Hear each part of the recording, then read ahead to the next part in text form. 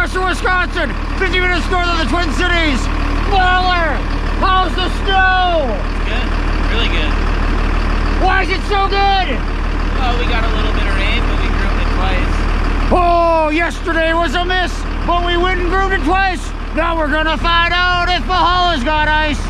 You know the groomer's taking it to town. Double groom for your pleasure.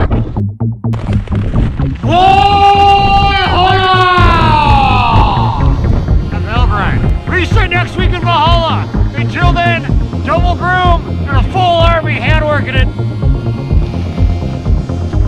She's firm, but she'll play.